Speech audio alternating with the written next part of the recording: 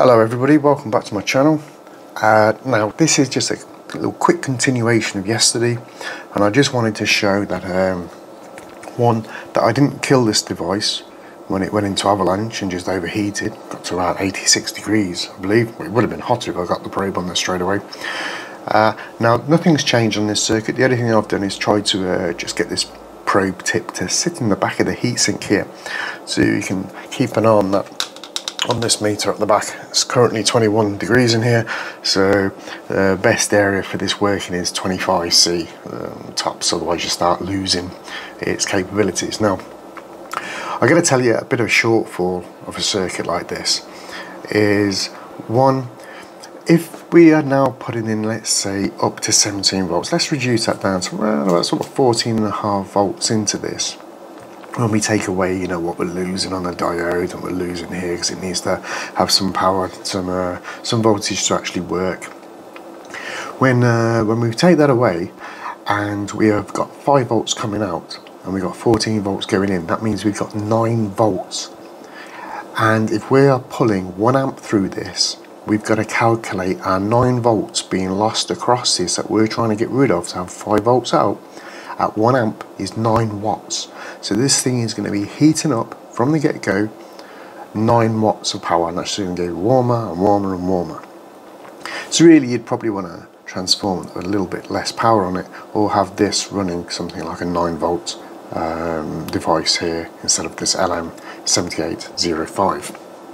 But what I wanted to actually show you is if I now put on using that same capacitor, everything's changed, but I've just adjusted this to pretty much one amp.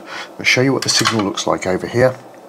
And as you can see, it's ghastly. And we've got one amp there, we're down to 445. So I'm just gonna tap that out straight away.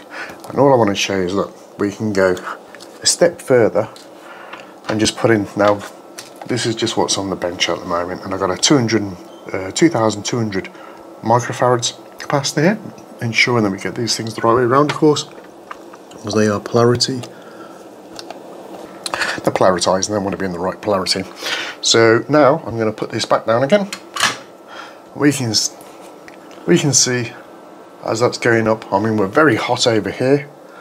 Did you see what this um, this is saying here? But we got a nice we've got a nice uh, straight line there, which means it's nice and clean but it's very hot on this side. It's probably not showing this very well, just because it uh, takes a bit for me to get it onto this. Oh, that's not very good. that itself, I think, not quite sure what's going on there. But for some reason, why that's going, that's putting up a right old fuss. Did you notice that? Let me just put that down again. And look at the look at the meter, look. Uh, take that off again. Now that's strange behaviour. But I suppose that could be because I've got these plugged in like a silly billy. And really, I should just be having one thing plugged in when I'm doing this. And let's just see if that makes this any, any easier to read. If I just put that on there. And we are T1, so we just want to switch this over to T2 there we go 55C my mistake by leaving those in I'm sure. Let's just see what happens when I put that down. Yeah that's a lot happier. And we're at 54 and you can see oh how that is rising. That just goes to show how quick these things get warmer and warmer and warmer.